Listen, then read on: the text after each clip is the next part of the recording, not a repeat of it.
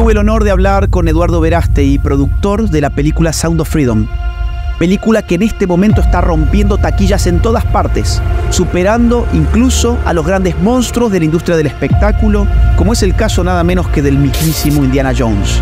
Sound of Freedom es una película basada en hechos reales que se dedica a destapar, a descubrir el oscuro mundo de la explotación sexual infantil.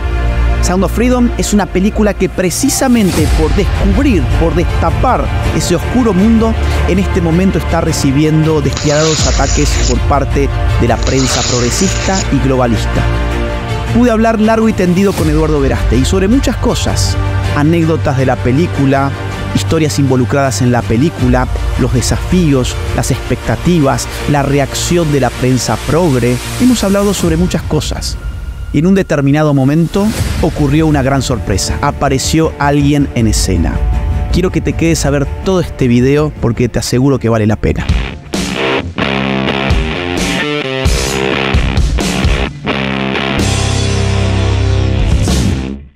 Está con nosotros Eduardo Verástegui, actor de cine, productor de cine. Acaba de lanzar la película Sound of Freedom, que ha generado un éxito de taquilla impresionante, no esperado supongo que para la mayoría de las personas que sin embargo sí que estábamos esperando este filme, y hoy está en boca de todos, hoy está en boca de todos los que defienden a los niños, pero también está en boca de aquellos que han mostrado su verdadero rostro porque no han tenido más que palabras de odio contra una película que se dedica a exponer la trata de niños, un negocio del cual habitualmente no se habla mucho. Eduardo, gracias por el tiempo y gracias por todo lo que estás haciendo. Bienvenido a este canal. Mi hermano Agustín, gracias a ti por todo lo que haces y por este espacio que me, que me regalas, que me brindas para yo poder comunicarme con toda tu audiencia. De verdad, muchísimas gracias. Es un honor. Eh, Mira, vamos a empezar por acá. No vi la película porque me encuentro en España y no tuve dónde verla. Entiendo que España todavía no debe haber llegado. Ojalá que llegue a los cines. A mí esa película me gustaría verla, pero en el cine, más que en mi casa, así que ojalá sea el caso. Sin embargo, he estado investigando un poco, mirando trailers, mirando críticas, leyendo sobre la trama. Y lo primero que me llamó la atención es que la película fue terminada en el año 2018, ¿puede ser? Bueno, eh, me voy un poco atrás. Sí, yo conocí a Tim Ballard hace ocho años en Los Ángeles, California. ¿Quién es Tim Ballard? Bueno, él es un exagente, fue un exagente del Departamento de Seguridad Interna de los Estados Unidos. También trabajó en la CIA.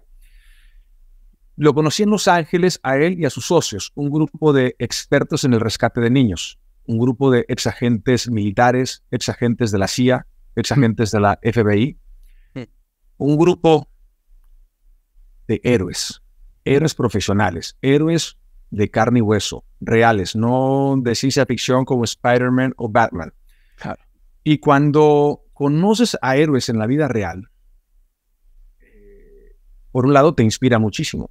Te inspira muchísimo conocer a personajes que arriesgan su vida, arriesgan todo por la vida de alguien más. ¿Qué hacen estos héroes? Bueno, te cuento. Ellos viajan por diferentes partes del mundo encubiertos visitando los rincones más oscuros del planeta para rescatar niños secuestrados para explotación sexual.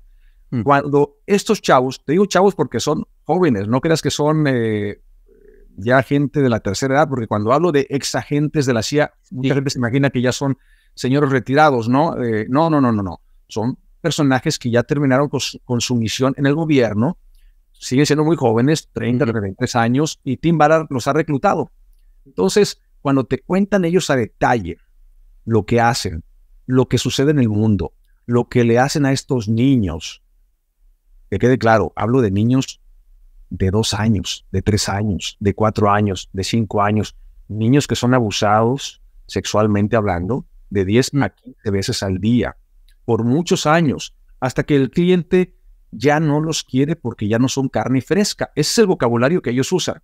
Entonces, estos niños, que ya no son niños después de 10 años, pero siguen siendo jovencitos, entran al segundo negocio, que es el mercado negro del tráfico de órganos. Los abren y los venden en partes.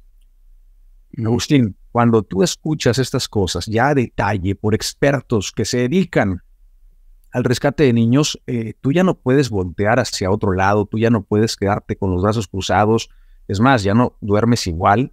Eh, Oh. Yo entré en una depresión tremenda, en una crisis de fe incluso. ¿En qué año fue esto más o menos? Perdón que te interrumpa, que vos diste con el tema. 2015, en el 2015, exactamente. Y 2015. fue, fue básicamente, yo estaba en ese entonces eh, promocionando la película Little Boy, El Gran Pequeño. Y en una de las funciones que hacía en Los Ángeles eh, para promover la película, ahí llegó eh, uno de ellos. Y después me presentaron a Tim. Y así empezó, fueron una, dos, tres reuniones hasta que yo ya estaba enterado de todo. Y recuerdo como si fuera ayer, cuando Tim Ballard vio mi cara, obviamente, pues vio el impacto que, que tuvo cuando me contaron estas historias. Y me dice, Eduardo, es muy triste, es terrible todo lo que te hemos contado. Pero sería más triste aún que ahora que lo sabes, no hagas nada. Porque el silencio estimula al perverso, al bandido, al verdugo. Y cuando, cuando la gente buena se queda callada, eh, deja de ser buena, porque ya es parte del problema. Hemos escuchado por ahí muchas veces, ¿no? Que el mal triunfa cuando la gente buena se queda callada. Pues si se queda callada ya no es gente buena porque es parte del problema. Yo no quería quedarme callado. Yo no voy a guardar silencio. Yo le dije, Tim, yo quiero hacer algo. Soy cineasta. Tengo un arma muy poderosa que es el cine, un arma poderosa, masiva de inspiración y de instrucción. Yo quiero hacer una película, pero te quiero entrevistar primero con mi socio, Alejandro Monteverde, quien fue el director de la película y el guionista de la película. Otro mexicano igual que yo, somos del norte de México, de Tamaulipas. Entonces los dos empezamos a entrevistar a, a- a Tim Ballard y la primera pregunta fue, ¿este problema sucede solamente en Estados Unidos? No, Eduardo. Un problema global. Sucede en todos los sectores. Sector político, sector religioso, sector empresarial, en la familia, violencia sexual, violencia sexual doméstica, o sea, el abuelito, el papá, el hermano mayor, sucede también, está en todos lados. Es una es un problema perverso, humano, que sucede en todos lados y crece y crece y crece por la pornografía, por la adicción a la pornografía y sobre todo a la pornografía infantil. Bueno, después hablamos de eso. Eh, ¿Qué pasa? Yo le digo, bueno, a ver, esto es un problema global. Sí, Eduardo, principalmente Estados Unidos y México, me dice. Estados Unidos es el consumidor número uno de sexo con niños en el mundo. ¡Buah! México, su proveedor número uno. Estados Unidos el consumidor número uno de pornografía infantil y de droga. México, su proveedor. Sí. Bueno, a ver, a ver, a ver, a ver. Momento, momento, le dije. Si Estados Unidos es el consumidor número uno de sexo con niños, a ver, mi hermano, si ustedes son el país más poderoso del mundo, tienen la tecnología, el dinero, la inteligencia, el ejército, la policía, todo, ¿por qué no termina con este problema? Claro. Me queda viendo y me dice, porque no es prioridad. No es prioridad y nosotros no somos la solución, Eduardo. Nosotros, nosotros somos la solución tal vez para un niño. Y claro, salvas a un niño y salvas al mundo. Gracias a Dios somos la solución para mil niños, dos mil. En ese entonces llevaban creo que cuatro mil niños rescatados. Yo como que no era la solución, mi hermano, si eres un héroe, cuatro mil niños de millones, nos rebasa. Esto es un problema demasiado grande y entonces, ¿cómo lo vamos a resolver? Y él me dice, necesitamos un movimiento, algo que detone un movimiento que se convierta en un, en un movimiento global con soluciones globales para este problema global. Y la película, la película puede, puede ser esa herramienta, esa arma, ese instrumento, esa pieza que puede detonar todo. Pero antes de que te comprometas, te voy a decir una cosa muy importante y quiero que estés consciente, porque te veo ya muy prendido y te veo ya muy apasionado, pero es importante que sepas lo que te voy a decir. Nosotros, Eduardo, tenemos muchos amigos, pero también tenemos muchos enemigos. Y esos enemigos los vamos a compartir contigo, serán tuyos. Mm. Consciente a lo que te vas a meter, a lo que te vas a enfrentar.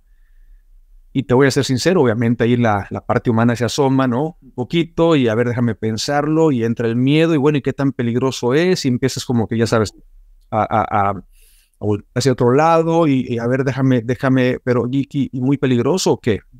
Es peligroso. Ujú. Estás en el llamado, o tienes el llamado o no lo tienes.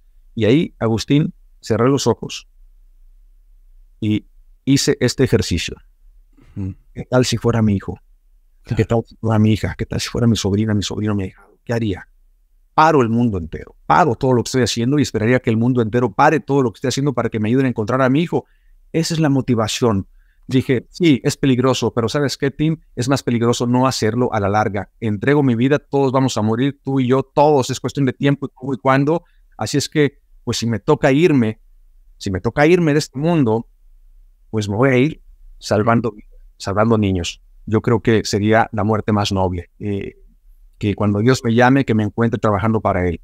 Que me encuentre trabajando para defender la vida, la vida de los más vulnerables, los que no se pueden defender, los que no tienen voz, los millones de niños que hoy en día, mientras tú y yo hablamos, están siendo lastimados, están siendo violados, explotados. No se vale, hermano, no se vale. No, y aparte que es una realidad que no está en el ojo público. Es decir, es una realidad subterránea que la tienen muy bien escondida que, acontece mientras las personas van al cine a ver películas de superhéroes, como recién vos mencionabas, y que simplemente van, siguen con sus vidas como si no pasara nada. Y sin embargo, esta película destapa, ¿no? Destapa una realidad que nadie quiere mostrar, que mirarla ya es un enfrentarse a la decisión de o me quedo callado o empiezo a hablar y empiezo a decir este tipo de cosas y este tipo de mensajes porque si no nos levantamos los de abajo, está visto por lo que has dicho que los de arriba no tienen mucho interés en mover un, solo dedo por estas cosas. Y pensaba mientras mm, referías esta, mm, este diálogo donde le preguntaste por qué el gobierno de Estados Unidos no hace nada con esto, y pienso, bueno, ¿por qué hay tantos gobiernos que no hacen nada frente al crimen organizado en general? Bueno, generalmente es porque si hicieran algo estarían salpicando hacia a las propias filas en muchos casos, ¿no? Ya hemos visto el caso de Jeffrey Epstein, eh, que bueno, finalmente el tipo se quitó la vida supuestamente en la, en la cárcel, pero quienes viajaban con él a una isla justamente a mantener relaciones sexuales con menores de edad, eh, eran personas de, las altas finanzas, de la alta política, eh, personas de mucho peso. Eh, vos mencionaste recién el temor, es decir, a vos cuando te advierten si te metes en esto tenés que saber que vas a tener grandes enemigos. Ah, el rodaje de la película, ¿cuánto tiempo duró? Y durante el rodaje, ¿te planteaste en algún momento dar marcha atrás? ¿Hubo algún tipo de amenaza en algún momento que hayas eh, vacilado en tus intenciones? No, no. Eh, amenaza sí, pero no hubo, no hubo duda de, de echarme para atrás, no. Una vez que dije, vamos, le entramos con todo, ese ejercicio que te dije que hice, lo hago todos los días. Los últimos ocho años de mi vida, cierro los ojos. ¿Qué tal si fuera mi hijo? ¿Qué tal si fuera mi hija? ¿Qué tal si fuera mi sobrino? Mi hermano se va al aire, me entra una ansiedad que, que digo, no, no, no, no, no, a ver, a ver, yo no voy a esperar a que esta tragedia me suceda a mí para yo despertar. No, mejor despierto ahora para que no me suceda. Mejor despierto ahora y hago algo ahora, lo que está en mis manos, para que no me pase a mí y para que no le pase a nadie más. Ningún niño debería estar pasando por esta terrible tragedia, por esa terrible oscuridad. Entonces, una vez que dije que sí, empezaron los obstáculos, obviamente, porque cuando eh, Alejandro Monteverde, mientras él escribía el guion, pues yo empiezo, empiezo a tocar puertas, a, recaudar fondos, a levantar fondos, a, pedir, eh, a pedirle a la gente que participe y muchos, no, Eduardo, esto es muy peligroso. Lo mismo, yo ya lo sabía, sabía lo que me iban a decir. Es muy peligroso, mira, yo tengo familia, tengo hijos, pues precisamente porque tienes familia y tienes hijos, tienes que hacerlo. No, es que mira, yo prefiero que mejor ni me hables de ese tema yo no quiero saber de eso. Es que tienes que saber de eso porque tienes hijos y son el target. Si alguien tiene que saber de esto, eres tú que eres padre de familia. Eres un, no seas un padre despistado. Queremos padres de familia presentes, no ausentes. Presentes, prefiero un papá asustado que despistado, porque por lo menos el que está asustado va a cuidar a sus hijos, los va a abrazar, va a estar pendiente de ellos. Eh, los que son niños, bueno, a ver, cuidado con las redes sociales, porque ¿qué pasa? Le dejas al niño un iPad ¿no? Un celular y tú crees que vives en una zona muy segura, que a ti no te va a pasar nada, porque eso siempre, todos los padres de familia que les ha pasado esto, siempre me dicen es que yo jamás me imaginé que me fuera a pasar. Pues te pasó. Y si no hacemos algo, le va a pasar al que sigue, y al que sigue, y al que sigue, a todos los papás más despistados, ¿no? Entonces, tú estás acá cocinando, tu hijo está en el cuarto, todo está muy bien, él está en su teléfono inteligente, y de pronto te lo pueden secuestrar ahí mismo, online, cibernéticamente hablando. Empieza a conectarse con otro niño, ¿no? Porque los usan también como gancho, como carnada, como curricán. Y entonces el niño empieza a hablar con el otro niño, empiezan a, a desarrollar esta amistad y al rato pasan cosas, pásame fotos, intercambian fotos, el rato fotos íntimas, luego las amenazas, el grooming, este, y, y, al rato en un segundo le destruyes la pureza y la inocencia a ese niño para siempre. Ahí en tu casa, en tu propia casa, pasa todos los días. Pasa en Estados Unidos, pasa en México, pasa en Argentina, pasa en Europa, pasa en todos lados. Entonces, mucha gente me decía, bueno, a ver, déjame pensarlo, pero no se levantaban. Entonces había muchos obstáculos y seguía estas voces de amigos míos, incluso familiares míos, preocupados también. Es muy peligroso. ¿Para qué te metes en esto? ¿Qué necesidad tienes, hombre?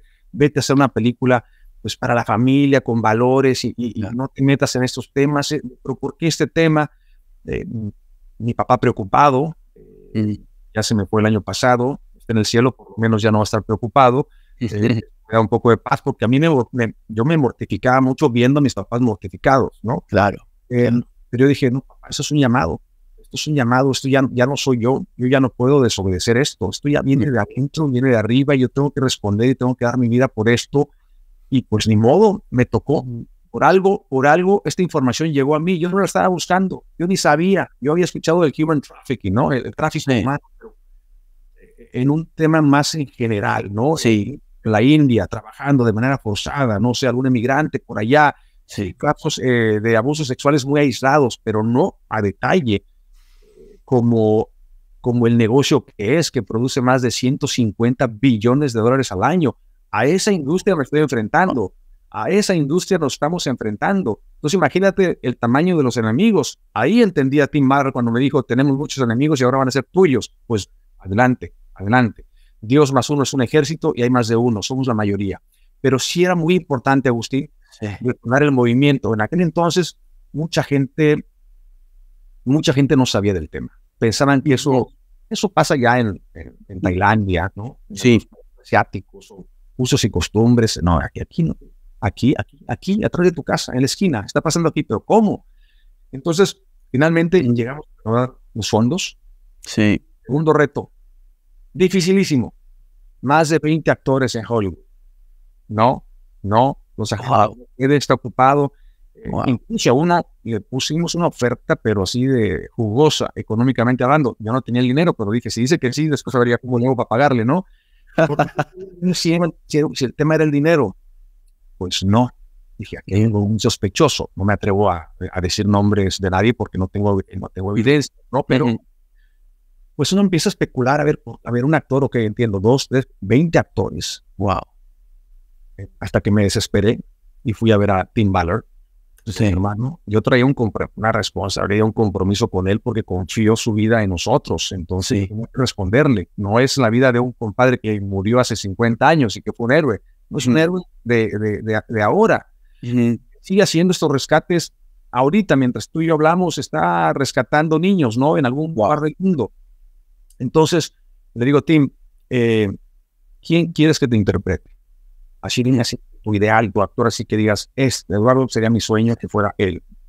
Y me dice Jim Caviezel. Yo, Jim Caviezel, pero ¿por qué él? Si no, no, no se parece a ti, es más alto que tú, es más grande que tú, ¿por qué él? Porque estoy buscando, Eduardo. Yo quiero que encuentres a un gran actor, pero no solamente a un gran actor. Un hombre tenga un corazón valiente, porque para hacer esto se necesita mucha valentía. Entonces, y él es valiente, y yo sé que él daría la vida por esta causa, y yo sé que él vendría a hacer esta película y se queda con nosotros para siempre, para siempre, luchando contra el tráfico de niños. Búscalo, por favor.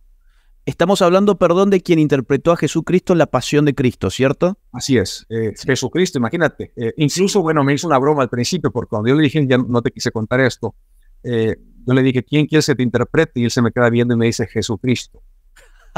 Y el viejo volvió loco, ¿no? Me dice, estoy bromeando. Hablo del actor que interpretó a Jesucristo en la Pasión de Cristo de Mel Gibson.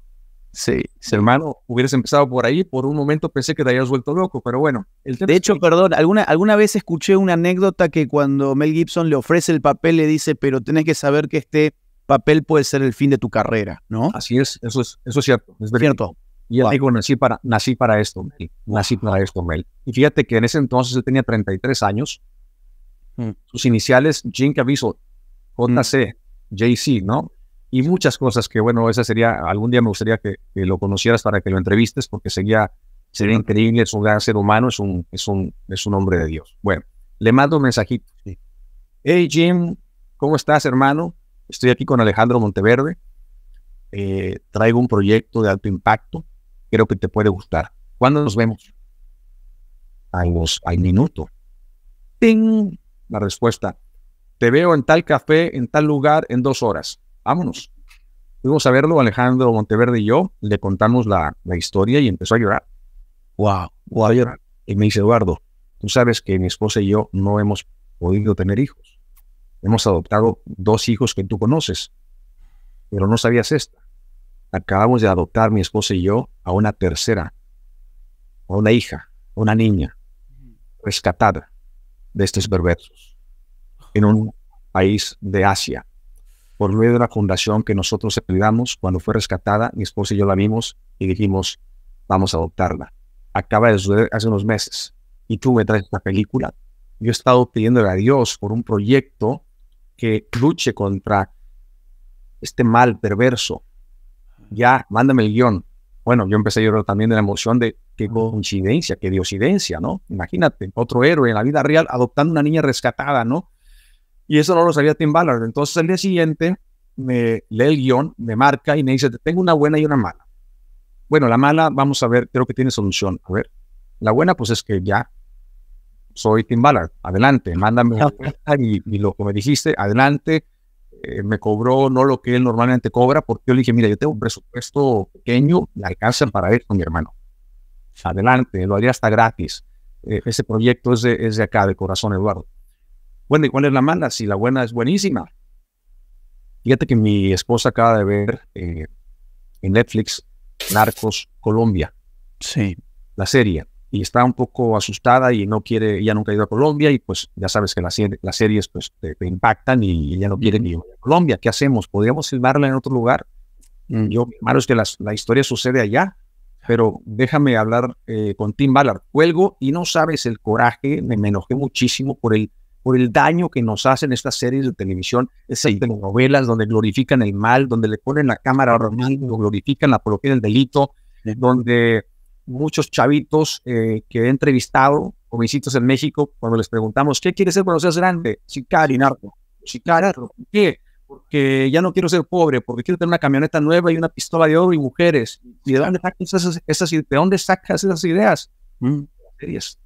Entonces, eh, yo sé que tenemos cosas malas y buenas en todos lados. Pongan en la cámara a las cosas buenas, por el amor de Dios. Porque si el daño que nos hacen, para prueba un botón, la señora no quería que su marido fuera eh, a, Colombia por esta serie. E, el daño que le hacen a Colombia, a México, a nuestros países, no, no, no se vale. Bueno, le llamo a Tim Ballard y le digo, mi hermano, una buena y una mala. La buena, Jim Caviso, digo que sí. Ah. La mala, la señora vio Narcos Colombia en Netflix y no quiere que él vaya a bueno, Timbara es un cuate que trabajó en la CIA, trabaja en un grupo de, inteligencia privada, y me dice, pregúntales si 30, pregúntales si 30 ex Navy SEALs son suficientes para cuidarlo. ¡Wow! Llamo, mando mensaje, luz verde, vámonos a Colombia. Y nos vamos a filmar a Colombia con toda la producción, el elenco, con gente de Colombia talentosísima y los 30 ex Navy SEALs que iban disfrazados de extras. ¿Aparecen algunos o no? Eh, algunos por ahí, más o menos. Más o menos. Ahí se, coló. Ok. No, estaban ahí como que extras, pero nos decían que la cámara no los tomara, entonces los poníamos ah. en un lugar donde la cámara no, no, no llegara. Bien. Y de pronto, ¿qué sucede, Agustín? Que después del tercer día, yo como productor, yo sé quién está en el set. Pues, obviamente, yo paso lista, 200 personas en el set, imagínate la, gente de producción, los actores, los extras, etcétera. Yo veía que la mitad de ellos no estaba en el set. Ajá. Me quedé callado, no voy a asustar a, Tim, a, a Jim Caviezel. Tim Ballard no estaba esos días en la filmación, estaba en Estados Unidos. De pronto, eh, dos semanas, tres semanas, nada, y yo callado porque no quería asustar a nadie. Muy raro. Voy a esperar a que llegue Tim Ballard. Tim llega en una semana más y le digo, ¿qué pasó, maestro? ¿Se regresaron o qué pasó? Bueno, de pronto un amigo mío de Colombia me manda un artículo de un periódico colombiano que decía el artículo, eh, palabras más, palabras menos, el gobierno colombiano, con la ayuda de la Policía Federal, arrestaron traficantes en Cartagena, rescataron a más de 200 niños secuestrados para explotación sexual, para el turismo sexual infantil en Cartagena, Colombia. Wow. Y más detalles, ¿no? Entonces yo digo, esto es como la película, porque en la película pasa algo muy parecido a lo que yo estaba leyendo. Llega Tim Ballard y le digo, mi hermano, mira, como en la película, ve el artículo. Y sonríe y me dice, fuimos nosotros. ¿Cómo? Wow. Eh, resulta que un sábado se fueron a pasear por las calles y estos cuates pues iban en bermudas, con chanclas, ¿no? Y se acercaron unas personas. ¡Hey, americano, hermano! Señoritas, you want señoritas, eh, jovencitas, eh, americano, jaja. Y entonces, pues estos cuates jamás pensaron que estos profesionales eran expertos en el rescate de niños. Entonces, se gancharon en la conversación, ¿no? Yeah, yeah, hubo señoritas, jovencitas, ¿qué tal jovencitas? Y empezaron el juego. Al día siguiente nos vemos, se apoyaron de la Policía de Colombia, tecnología, inteligencia, hicieron la operación underground, encubierta. Pues ellos fueron los que rescataron a los niños, pero le dieron todo el, el, crédito a la policía. y a la policía, ¿por qué? Porque tenían que seguir todavía en la filmación con nosotros. Así es que por protección, por seguridad, eh, ellos no podían aparecer en, la nota, ¿no? Yo, wow. wow, gracias a que la esposa de Jim Gavis dijo que no, esa mala noticia resultó ser la mejor noticia porque Tim Ballard se le ocurrió 30 ex Navy ellos llegaron y ellos salvaron a los niños, 200 niños. Antes de que la película fuera terminada, ya la película, por la gracia de Dios, salvó a 200 niños, 200 familias, 200 generaciones. O sea, imagínate, eh, fue muy fuerte, fue muy fuerte. Y así la película ha sido eh, muchos milagros, cosas increíbles, no planeadas, inesperadas, que se van dando, más grandes de las que nos imaginamos los cineastas, pero de pronto llegó el momento de la, la película, la terminamos en el 2018. Sí. En ese entonces era de Fox. ¿Cuánto tiempo, cuánto tiempo llevó a hacerla? hasta el 2018. Eh, a ver, empezamos en el 2015. Ajá. Tres años de guion. Justo al guion lo terminamos y cuando lo terminamos empezamos a filmarla inmediatamente en el, 2018. Fueron tres meses de, producción. Bien. 2018, septiembre, ya la película estaba terminada. Okay. Empezamos la etapa de postproducción. 2019, mediados, la película estaba completa ya. Listo. Bien. En ese entonces, Agustín, era de Fox, Latinoamérica. sí. América eran mis socios. ¿Qué pasa? Y teníamos un, plan increíble. Sacar la película, una serie, un documental, una segunda película, un plan completo, integral, para darle un golpe duro a esta oscuridad perversa que es con niños, ¿no? Pero ¿qué pasa? La compra Disney, ¿no? Lo inesperado. Llega Disney oh, y ¡boom! Compra Fox. Me acuerdo cuando pasa. Fox y todos mis amigos de Fox salen y me quedo yo con Disney, atrapado en Disney. Imagínate, atrapado en Disney por la película, propiedad de Disney ahora. ¿Yo qué voy a hacer ahora? Pues entonces eh, los nuevos directivos de Disney Latinoamérica estaban en Argentina. Mm. Me voy a Argentina a presentarles la película.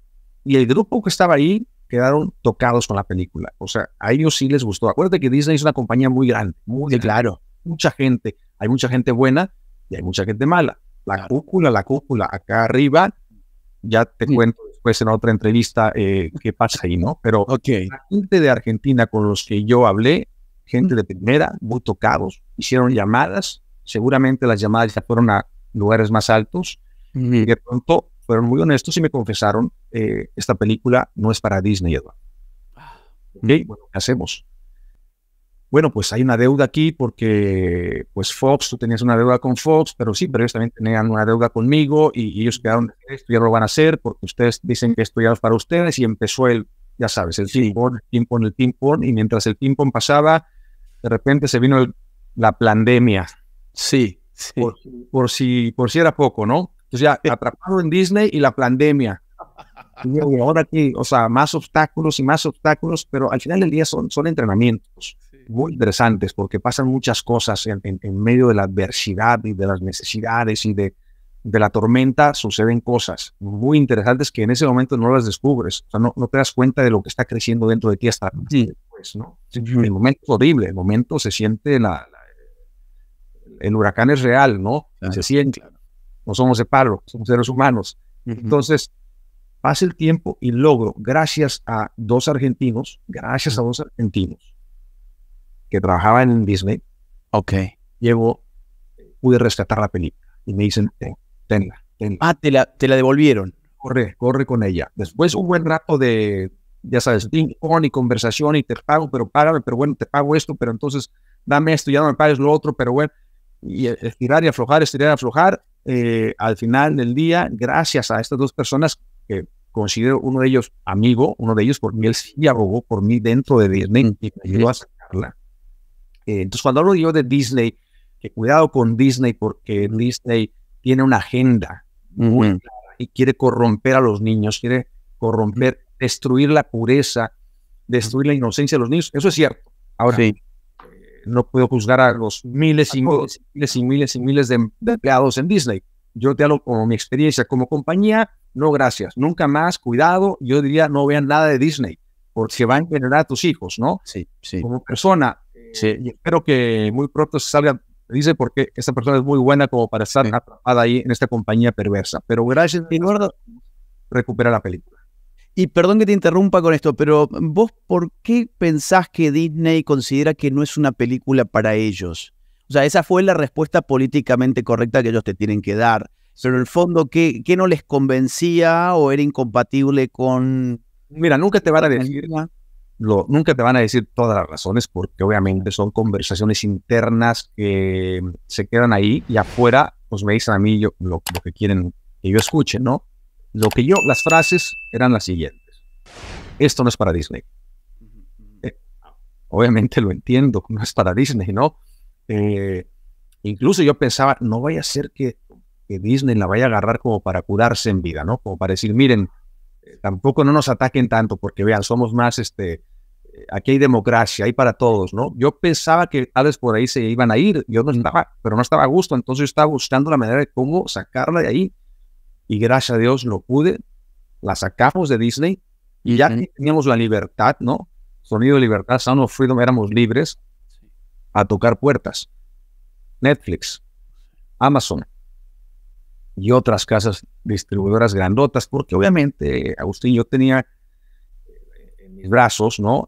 Todo el equipo teníamos a un bebé llamado Sonido Libertad, of Freedom, que lo veíamos hermoso, esta película es grande, merece estar con una casa distribuidora grande para que le pueda llegar el mensaje a todo el mundo. Si queremos hacer un movimiento global, necesitamos a una casa enorme. ¿Por qué tocar a todas esas mansiones? No, no, no. La misma frase, no es para nosotros, no es negocio. Nadie va a ver una película sobre el tráfico de niños. Te equivocas, película, no, y no, y no, y no. Y te cerraban las puertas, y te cerraban las puertas por tres años. Mm ante esta negativa yo tenía dos, dos opciones, o rendirme, tirar la toalla y hablarle a mis inversionistas, lo siento mucho, vamos a sacarla gratis en YouTube, hice lo que pude, no la quieren, no, no, está en mis manos, ¿no? o, o la otra opción, no me rindo, perseverancia, el tiempo que tome, cuando de salvar vidas se trata, no puedes parar, adelante, te avientas y hasta, donde tope. Y escogí la segunda opción, y a darle. Entonces, para no tener la película ahí encerrada en una bodega y se llene de polvo, viene la idea de hacer una gira contra la trata en México. De acuerdo, claro. Porque dijimos, bueno, a ver, si el problema está aquí, en México, y es grave, ¿por qué no invitamos a cada gobernador del partido que sea, no me importa, izquierda, derecha, arriba, abajo, mm.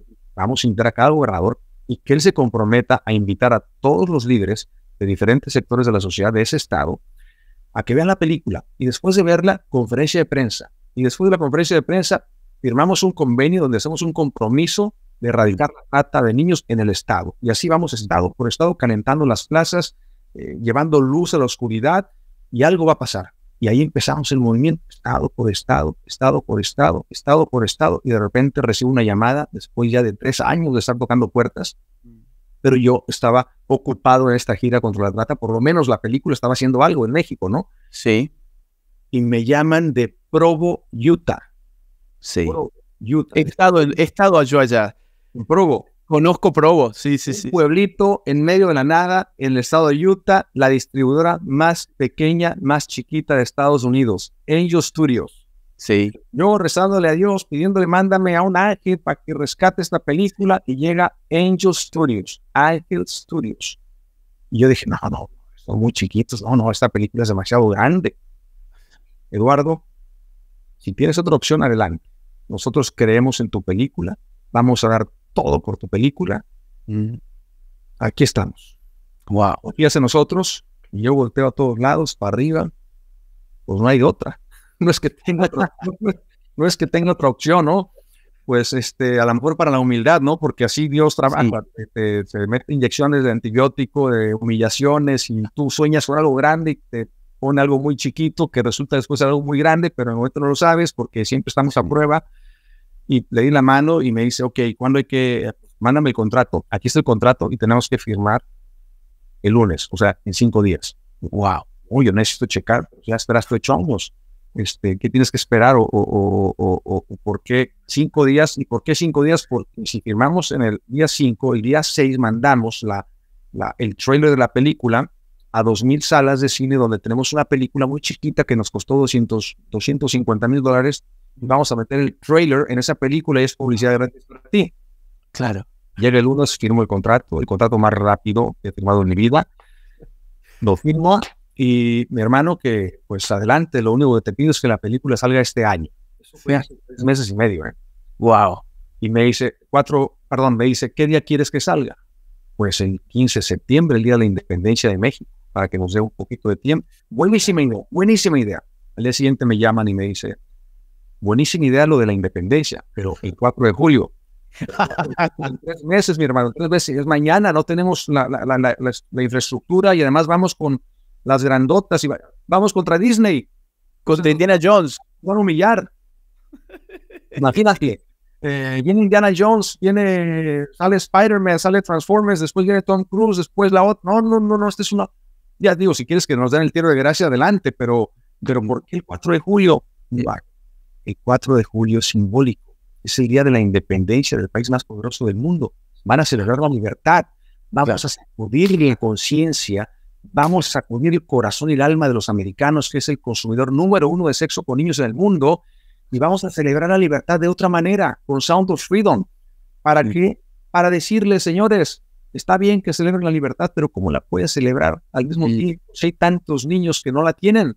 Hay que hacer algo para regresarle la libertad a los niños que no la tienen. Celebremos con Sound of Freedom. Wow. Pues salimos el 4 de julio y pasó el milagro, Agustín. Pasó el milagro. Pocas salas comparadas con las de Indiana Jones, que tenía dos mil salas más que nosotros y las grandes. Sí.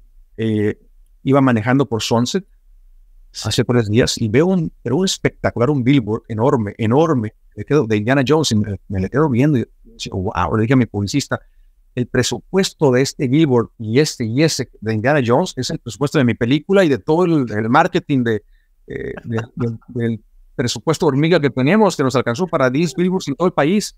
Wow. Wow. wow.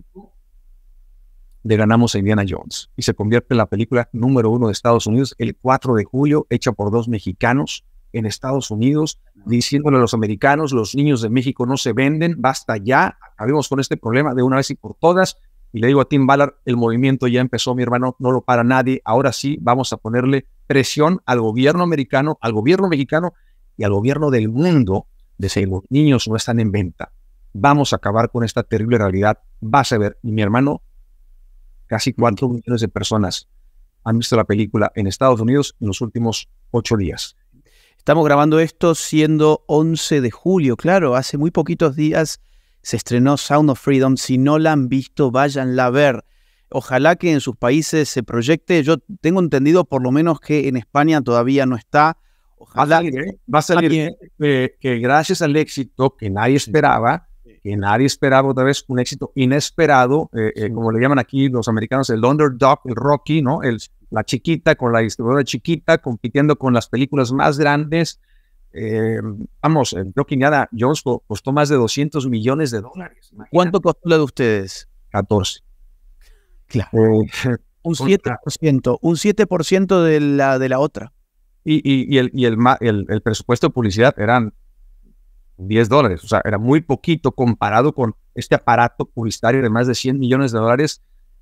Y además, Disney tiene contratos con los cines, o sea, es una, es una mafia, no te dejan, ellos saben cómo sacarte. Yo creo que no la vieron venir con nosotros. Sí. Yo, yo creo que, o no sé qué pasó, la verdad, yo, yo todavía no entiendo el, el, milagro, porque si es un milagro, humanamente yo te digo, mi hermano, no hay manera, lo que sucedió, toda la gloria a Dios, no hay manera. Yo hice mi parte, pero y Alejandro su parte, y Angel Studios hizo su parte, pero humanamente no, no hay manera de ganarle a, estos, gigantes, es Goliat, a veces Goliat, ¿no?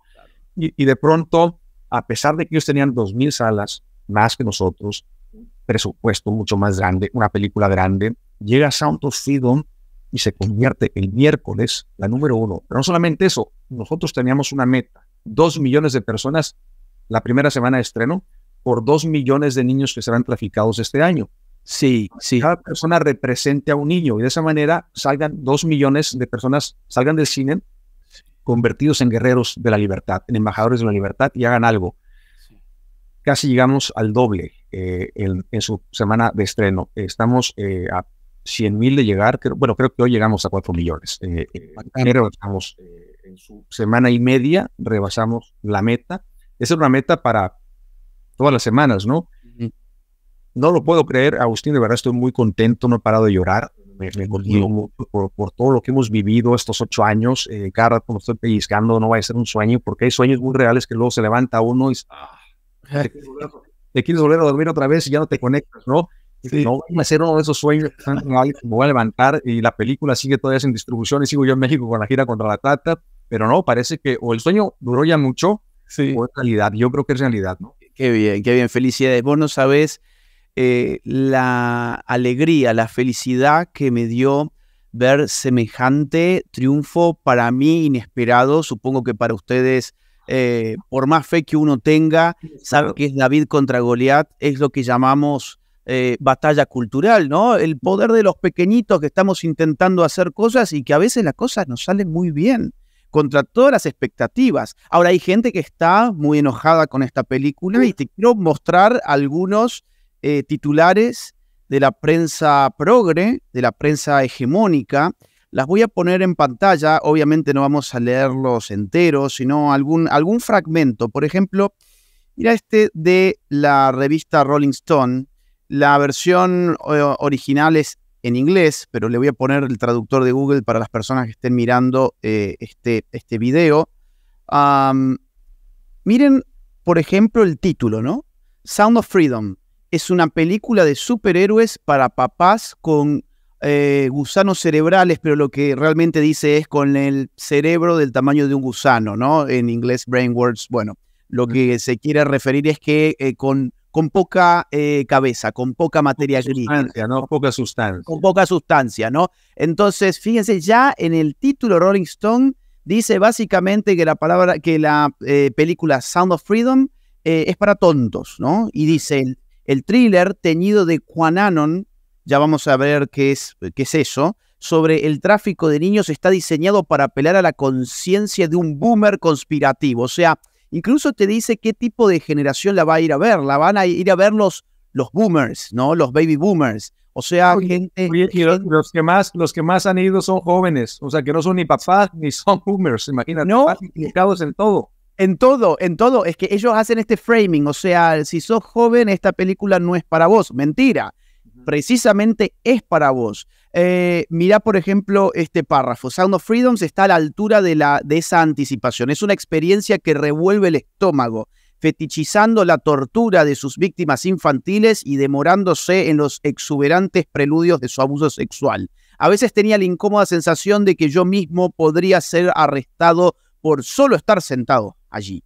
No obstante, se podía confiar en que la audiencia, en su mayoría canosa, que me rodeaba y jadeaba, gemía de lástima, murmuraba condenas, eh, aplaudía y gritaba amén en momentos de justa furia, como cuando Ballard declara que los hijos de Dios no están a la venta. Estaban fascinados por lo que claramente tomaron por una exposición abrasadora. Ni siquiera el ataque de, lo, de, de tos desagradable ocasional y no nos faltaron esos, pudo romper el hechizo. Claro, fíjense ustedes, todo este framing se llama en teoría de medios, que, que, es cuando el medio de comunicación, de forma que vos no te des cuenta, te está enmarcando la noticia para que vos creas, en este caso, de que vas a ir al cine y van a ser todos viejitos que están todos tosiendo y toda gente que vive fuera de la realidad, básicamente. Esto es una falacia absoluta, ¿no?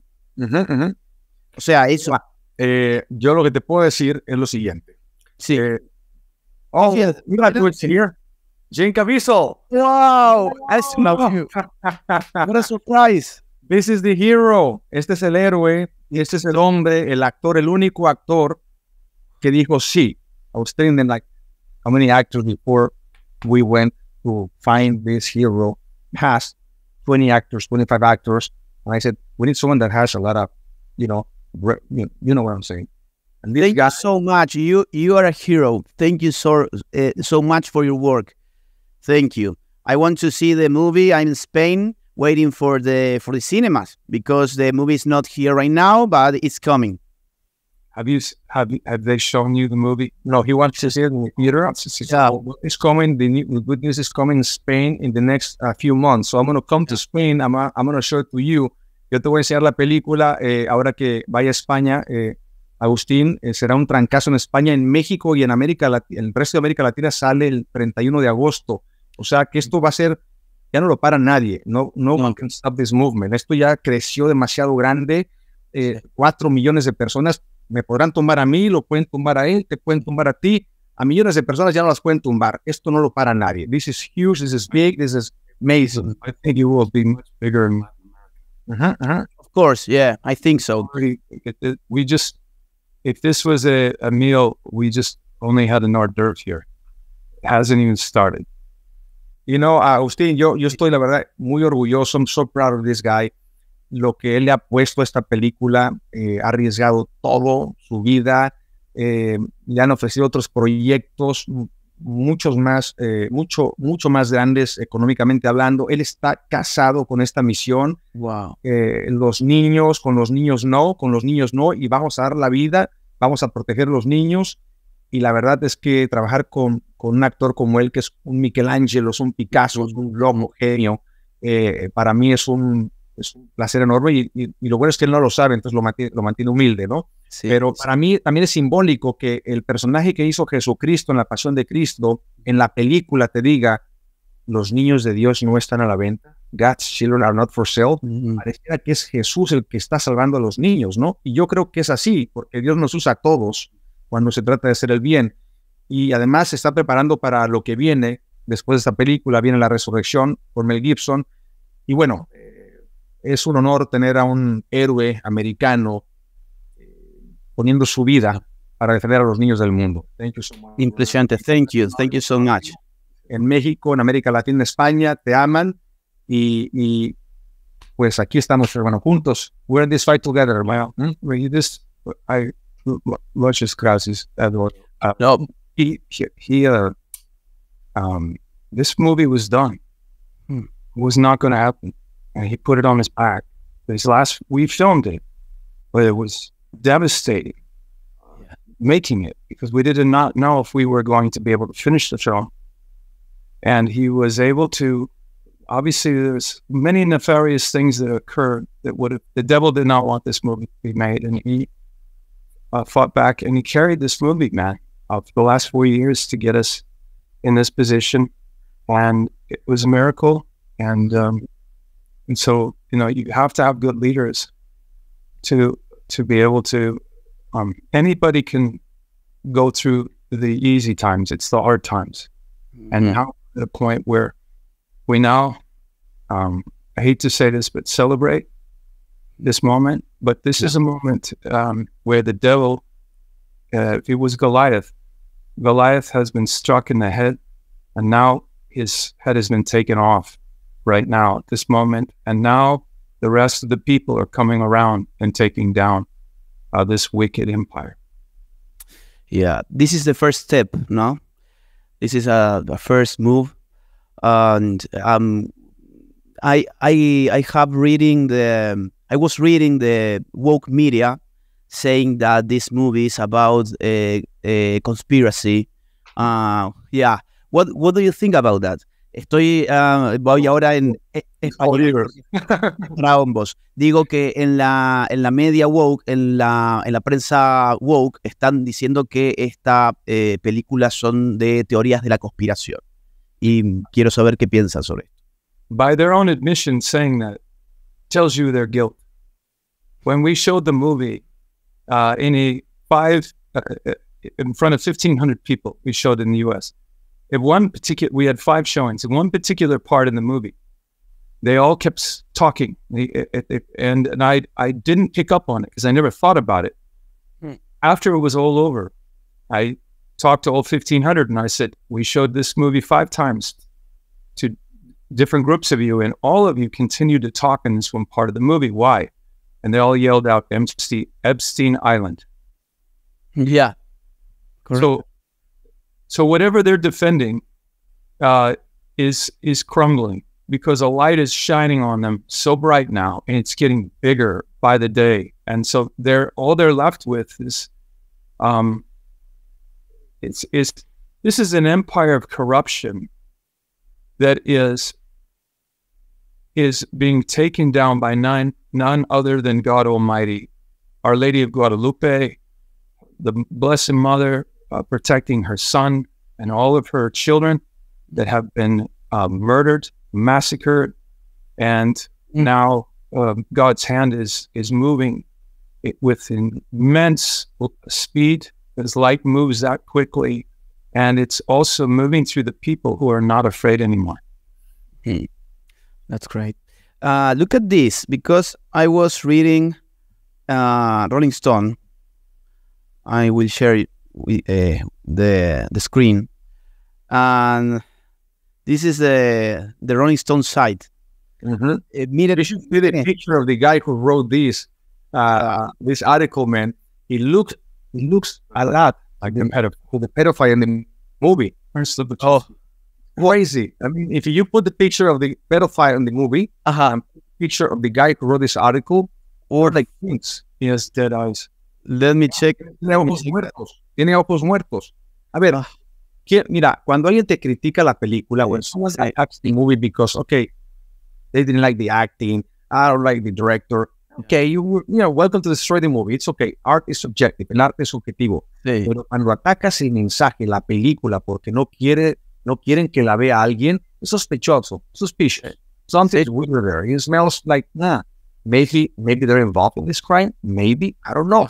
I think they, these guys, they, they, should be investigated, just, you know, just in case, or who is paying them to say those things. Mhm. Maybe they're, maybe they're innocent and, and, and they're just afraid because their, their bosses are telling them, you should write this. Okay, we should investigate those bosses too. Yeah. Everyone should be investigated because, ¿sabes lo que vamos a hacer? Vamos a presentar la película en el Capitolio en las próximas dos semanas para todo el Congreso, Mm. demócratas y republicanos. ¿Y sabes qué les vamos a decir al final? Release the names. Jeffrey Epstein Island. Release the names. Yeah. Los nombres.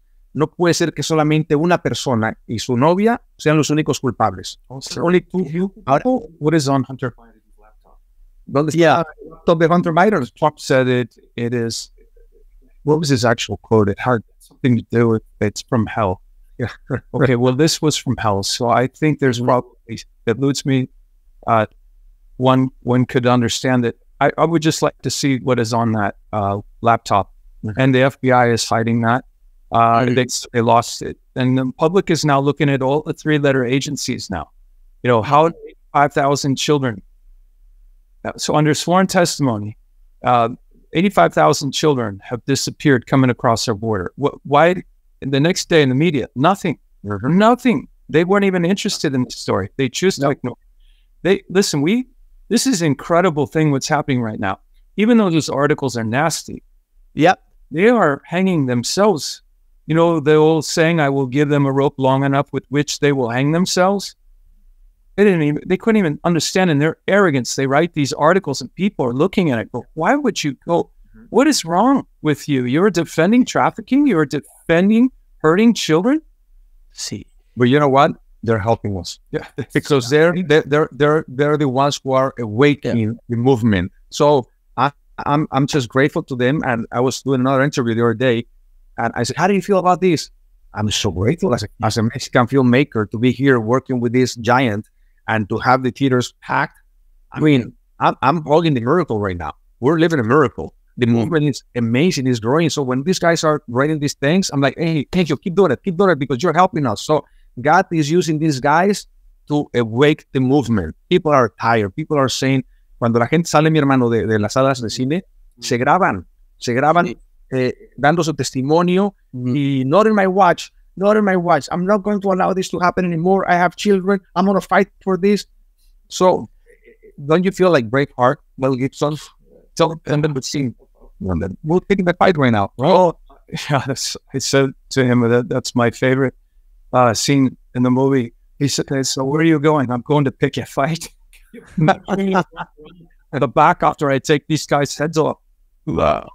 And and you know um, the uh, one great statesman in, in in America once said, "Evil is powerless if the good are unafraid." Mhm, mhm, mhm. That's great. Uh, look at this. I'm I'm going uh, speak uh, in Spanish because my audience speaks Spanish.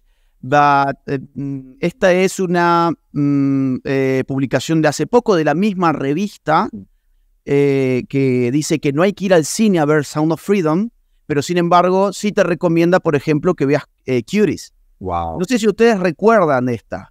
Eh, eh, "Let me tell him. Let me tell him this." Sí, sí, sí. the, he said like uh, isn't this amazing the, this magazine is telling don't go and see this movie but go and see the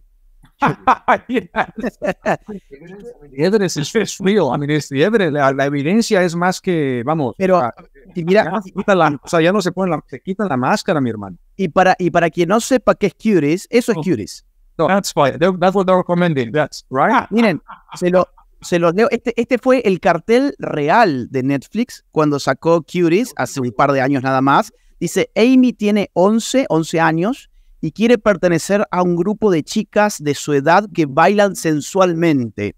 Entonces empieza a explorar la feminidad y desafiar a su familia religiosa. Porque obviamente aquí los malos son la familia religiosa. Bueno, esto es lo que, por ejemplo, Rolling Stone te dice que veas. Pero cuidado, miren, miren que, que no solamente Rolling Stone. ah, miren, por ejemplo, otro medio que fue contra Sound of Freedom, es este, The Washington Post, ¿no? Vamos a ponerlo también en la versión en inglés. Entonces dice aquí, bueno, no, es que no hay que ir a ver esto porque son teorías de la conspiración. Mm. Pero, pero, ah, miren ustedes que, qué otro tipo de eh, películas sí te recomienda que vayas a, a ver también eh, este tipo de medios. En este caso, uno muy similar es um, The New York Times. Los críticos de Curies no, lo, lo que los críticos de Curies no pueden ver, las complejidades la- de la niñez negra, ¿no? Así- Ahí, ahí está en You're trying to very Esto al final es sobre racismo, sobre sexismo. Ah, entonces hay que ver Curies. Ahora, no hay que ver Sound of Freedom. Pues todos los-. No, es- y te voy a decir una cosa, ¿sabes con qué? A- ayer estaba una persona ahí como que atacando, atacando el tema, ¿no? Sí. Esto no es real, no es real. Y le dije, ¿tienes tu celular? Sí. Por favor, pon Google. Ponle ahí en Google tú mismo. ¿Cuántos niños desaparecen en Estados Unidos al año? Ponlo. Y le salen la página del FBI, la página oficial del gobierno y los números. Dije, olvídate, vete a la, más, a la cifra más pequeña, vete a la del FBI. Sí. 400 mil.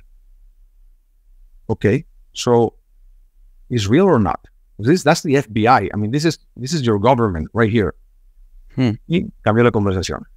Entonces, cuando alguien te diga algo, dile, saca tu celular y pon nada más cuántos niños desaparecen en Estados Unidos al año. Y te van a salir cientos de páginas y seguramente algunas son páginas charlatanas. No, no, vete a las oficiales, a los números oficiales del gobierno americano y ve la cifra la más chica. Y la más chica, hablábamos de 400 mil niños que desaparecen. Ahora, ¿dónde están? No lo sé, no lo sé, pero desaparecen. Yo como padre de familia, si mi hijo desaparece, no sé si está eh, trabajando, no sé si lo tienen eh, el crimen organizado, no sé si fue secuestrado para explotación sexual, no sé, pero desapareció. Y el 90% de las víctimas, Agustín, no aparecen. Eso es una tragedia. Este movimiento va a acabar con esto. Nosotros vamos a dejar una propuesta de ley ahora Sí. que, que presentemos la película en el Capitolio a todo el Congreso en Estados Unidos, que más consume sexo con niños del mundo, una propuesta de ley que se llama Sound of Freedom Law. Mm.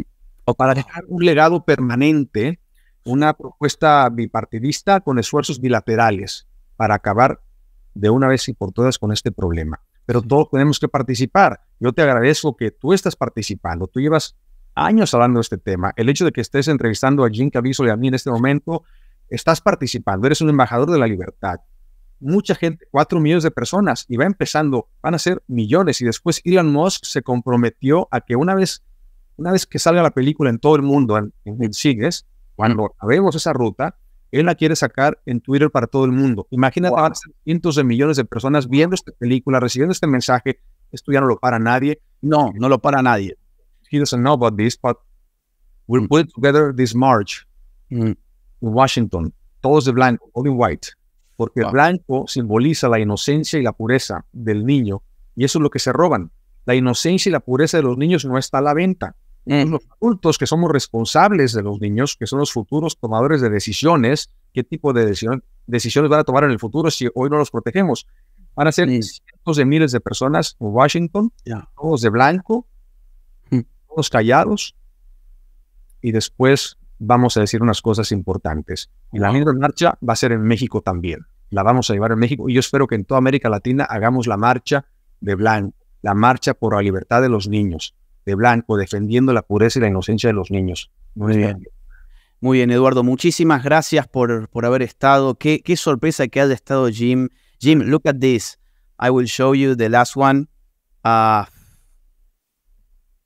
this is the, the Washington Post about cuties.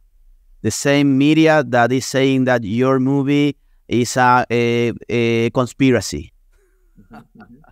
O sea, acá, fíjense, esto es la, la locura de, de la prensa progre que está enfrentando una película, una película que defiende a los niños de la trata de personas y se meten contra una película que viene a tratar de cambiar las cosas contra la trata de personas. What he says basically, you know, this this movies. This just came out. Um, New York Times just article just came out, and they're actually uh, it's a good article. Um, they're telling me I can't varsity, but um, Well, you have to. Uh, yeah, we're, we're not. Um, we're not members of the New York Times, are you?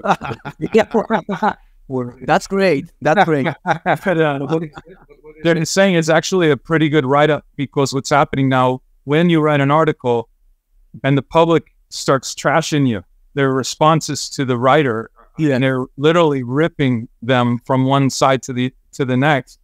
So they're losing all of their credibility now. The public has has you know just the, it's amazing. I'm um with uh the the media with the three letter agencies you know, understand that they're not everybody in the media not everybody in the three letter agencies are bad but the ones at the top that have the power Yeah. they're the ones that are controlling this and it's collapsing. And uh it was done with you know love. Um because the greatest the greatest uh, human uh, emotion that uh, outside of ourselves comes from from god deus from god. It gives love is that we would defend our children till death. We would we would and now uh, this awakening is happening. And that the people are coming together not just in the united states but it you're going to have latin america Mm. and countries coming together and good conquer and and other countries coming together there's going to be a real right now we don't have a border in the United States, the south border. The central banks control all of these countries and gotten us into all these wars and uh, created this matrix where um, even inside the church, in, in the Catholic Church, um, many leaders, you wonder why is this bishop not speaking out against these crimes against children? Wh- why are they sitting on their hands right now? Yeah, yeah. And and and it's and it's going it the highest corruption in all of the levels in the government, in the church. all the sectors, you know, Yeah. are, are involved in this. But you know what? The movement is going to stop this because this, Yeah. this movie is the people's movie. You know, and wait until we go to Mexico, man. We release this movie in Mexico, cuando esto salga en México, Mm. va a tocar el corazón del país y, y vamos a seguir con esta lucha, eh, Agustín, porque eso no termina con la película. La película hace su trabajo, Sí. pero después eh, yo tengo que hacer otro trabajo para, para, para que junto con el pueblo de México, el pueblo, cuando digo el pueblo de México, hab- hablo del pueblo de Dios, el pueblo bueno, el Sí. pueblo que cree en los valores, en la familia, en la vida, que somos la mayoría. Lo que pasa es que no estamos bien articulados, pero ya se está articulando un movimiento que se llama Viva México, donde la gente también está ya cansada de, de los políticos, cansada de los partidos de siempre, hablando lo mismo de siempre, con las falsas promesas. Hay un hartazo ya de la gente de México, porque México es un país muy rico, Sí. con mucha potencia, con mucho poder, donde hay mucha gente sin poder, sin potencia y sin dinero. Algo está mal, algo, Algo está mal. romper con ese hechizo de una vez y por todas y, y levantar a nuestro país y después juntos toda América Latina, porque tu país, el mío y, y el resto de América Latina está sufriendo lo mismo. Sí, así es. Eduardo, la última, ¿cómo se puede apoyar? Están todos invitados a ver eh, Sound of Freedom. Sound of Freedom. Eh, Vayan a, ¿cómo- vayan a la página, Ángel, y has to go to do another interview, se tiene que ir a hacer sí, otra entrevista. Eh, Venía a saludar y se quedó con nosotros la mitad de la entrevista. Qué honor, qué honor. Entonces, mira, eh, vayan a la página angel.com Diagonal libertad. Ángel.com diagonal libertad. Ahí pueden comprar boletos para ustedes, para sus familias. También pueden, eh, eh, hay un programa que se llama Pay Forward, donde tú compras boletos para otras personas que no tienen la capacidad de llevar a su familia al cine y que gracias a su generosidad ellos pueden ver la película gratis. De esa manera, más personas ven la película. Mi sueño era este, Agustín, que la película tuviera éxito, que, la película tuviera el éxito necesario, top 10, que estuviéramos en el top 10 para que la prensa esté obligada a hablar del éxito de la película, pero más allá de eso, de la temática de la película, que es lo que me interesa, para que más personas escuchen que esto es real y ya no, ya no existan más excusas de, más excusas de personas diciendo es que yo no sabía, es que yo no sabía, ya, ahora ya lo sabes, ¿qué vas a hacer? Y yo quiero que se hagan esa pregunta que yo me hice hace ocho años cuando escuché la historia por primera vez de Tim Ballard. Yo dije, ¿qué voy a hacer? ¿Un cineasta? Voy a hacer una película. Si todos se preguntan lo mismo, ¿qué voy a hacer? ¿Soy abogado? Voy a hacer esto. ¿Soy legislador? Voy a legislar. ¿Soy un reportero? Voy a ser. ¿Soy un investigador? Voy a investigar. Cada quien tiene talentos que el otro no tiene y si ponemos todos los talentos al servicio de los niños, Claro, claro. vamos a Hay que hacerlo, hay que hacerlo. Los links que ha mencionado Eduardo van a estar en la descripción de este video, en la caja de la descripción. Así que van ahí, pinchan, hacen clic, entonces ya pueden eh, sumarse a esta gran movida, a este gran movimiento. Eduardo, muchísimas gracias por haber estado al final más de una hora. Qué sorpresa que apareció Jim, mandarle un fuerte abrazo también a él. Ahora sí que cayó del cielo. Esto sí fue inesperado. Es que todo lo que nos está pasando, Agustín, son puras cosas inesperadas, mi hermano. De- desde que comenzó, desde que empezó la gira de Inesperado con la película eh, Provida que sacamos en México y que hicimos 32 premiers, una gira inesperada, una película inesperado. De ahí salió el movimiento Vía México inesperado. Después vino Sound of Freedom llena de momentos inesperados. Sale la película con un éxito inesperado. Y ahorita en esta entrevista se aparece Jim Caviezel, que no hace, que no le gusta hacer entrevistas en español porque se pone nervioso, ¿no? Se aparece aquí de manera inesperada. No, impresionante. Mándale un fuerte abrazo a él, te mando un fuerte abrazo a vos y a los espectadores de este video. Difundan también este video porque es una manera de viralizar la película, de viralizar la película para que más gente se entere sobre Sound of Freedom. Gracias Eduardo, un fuerte abrazo. Y muy pronto en México y en el resto de América Latina y en Europa. Les mando un fuerte abrazo con mucho cariño, con mucho afecto. Recuerden, niños, no se venden. Vamos al cine a ver Sound of Freedom, Sonido Libertad. Dios los bendiga. Ánimo. No quiero que cierres este video sin antes contarte que mi más reciente libro, titulado Generación Idiota, ya se encuentra disponible en las más importantes librerías de toda América y de España también. Además, podés encontrarlo a través de Amazon en el link que te dejo en la descripción de este video. Mi trabajo se financia única y exclusivamente a partir de las donaciones libres y voluntarias de aquellos que valoran mi trabajo. Si quisieras colaborar económicamente conmigo, te invito a hacerlo uniéndote en mi comunidad de Patreon, siguiendo el link que se encuentra en la descripción de este video, o bien uniéndote a la comunidad de YouTube haciendo clic en el botón unirse. Si no pudieras colaborar económicamente, no te preocupes, hay muchas otras formas de ayudar. Por ejemplo, difundiendo este video, poniéndole like, dejando tu comentario, suscribiéndote a este canal y activando la campanita.